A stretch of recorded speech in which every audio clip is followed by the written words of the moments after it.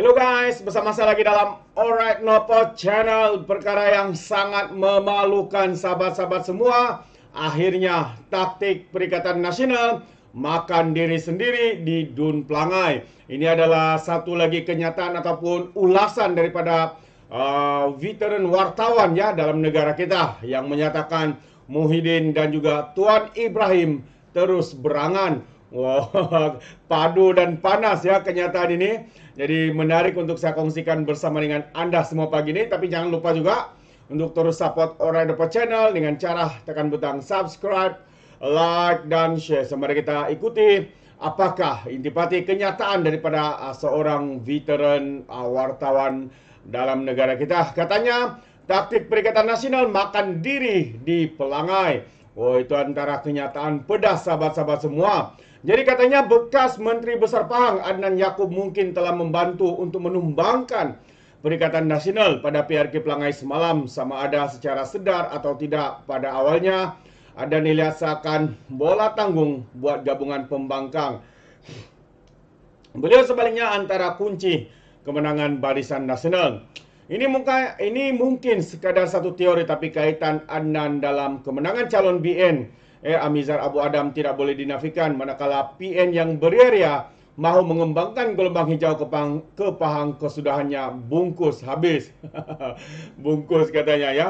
Amizan ya, Amizar yang memperoleh 7.324 undi untuk menang dengan majoriti lebih kecil 2.946 undi ke atas calon Pakatan Perikatan Nasional Kasim Samad yang hanya mendapat 4.375 undi.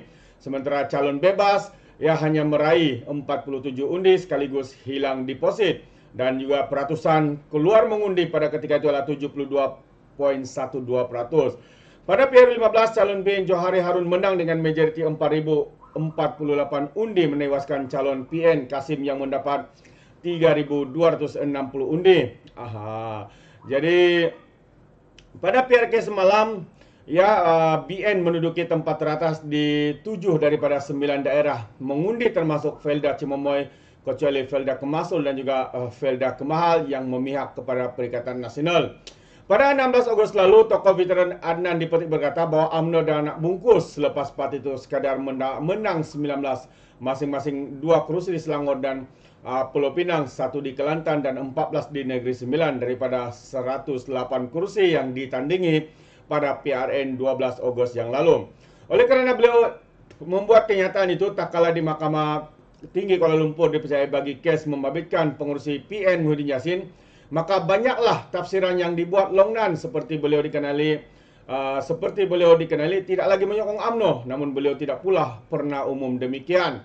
Muhyiddin ketika itu dilepas dan dibebaskan terhadap empat pertuduhan menggunakan kedudukannya sebagai Perdana Menteri ke-8 bagi suapan berjumlah RM232.5 juta daripada tiga syarikat untuk bersatu yang diketahuinya.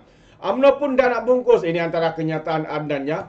Katanya dalam satu video berdurasi 20 saat yang tular sejak itu lantaran bekas adun pelangai selama 8 penggal sejak 1986 ini tafsirkan tidak lagi di pihak UMNO maka majoriti pengundi di dunia itu dianggap harus mengambil pendirian serupa.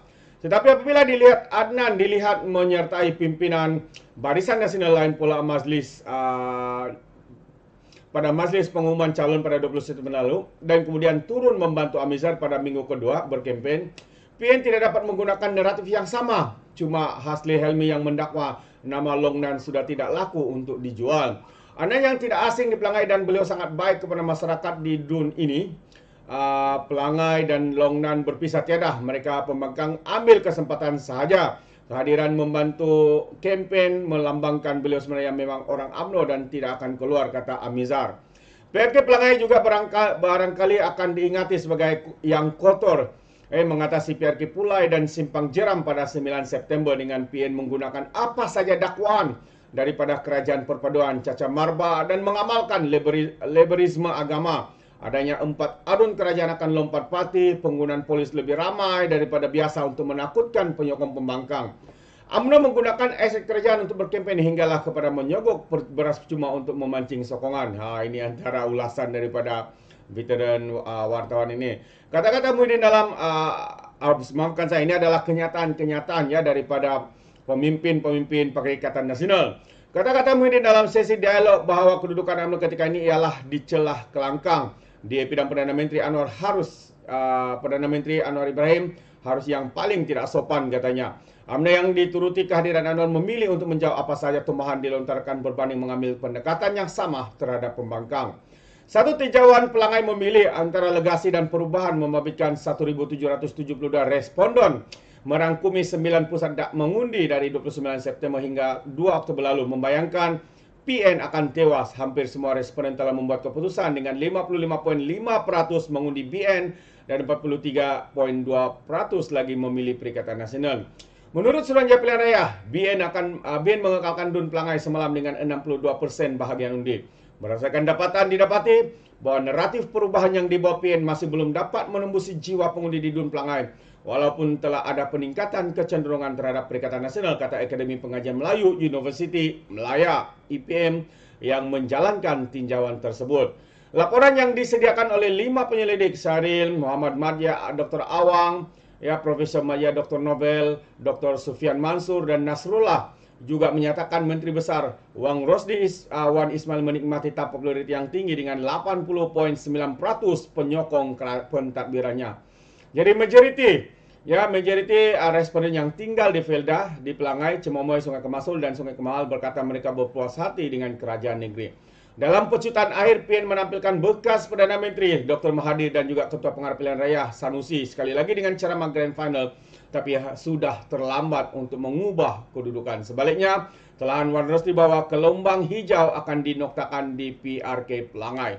Oh itu dia sahabat-sahabat semua. Jadi ini adalah antara ulasan ya yang saya percaya adalah satu ulasan yang terbaik yang menyatakan bahawa taktik Perikatan Nasional makan diri sendiri. Apakah taktik itu? Ya taktik itu uh, menggunakan apa sahaja ya dakwaan seperti uh, mencecah, cacar marba kerajaan, ya mengamalkan liberalisme agama, adanya apa ni kononnya membuat uh, berita palsu kononnya uh, ada empat adun daripada kerajaan akan melompat ya. Kononnya polis terlalu ramai ya untuk menakutkan penyokong mereka dan sebagainya. Eh sehinggalah uh, menggunakan isu beras juga sahabat-sahabat semua. Akhirnya taktik ini pula makan diri sendiri dan tidak diterima pakai oleh rakyat di uh, Dun Pelangai ini sahabat-sahabat semua. Jadi ini yang membuatkan sekali lagi veteran wartawan ini mengatakan bahawa Muhyiddin ya Muhyiddin dan juga Tuan Ibrahim ya terus berangan-angan. Antara angan-angan mereka juga. Kononnya kalau menang mereka boleh mengubah pentadbiran kerajaan negeri Pahang. Kononnya ada juga Tuan Ibrahim akan dilantik sebagai uh, menteri besar. Akhirnya itu hanyalah angan-angan Mak Jenin.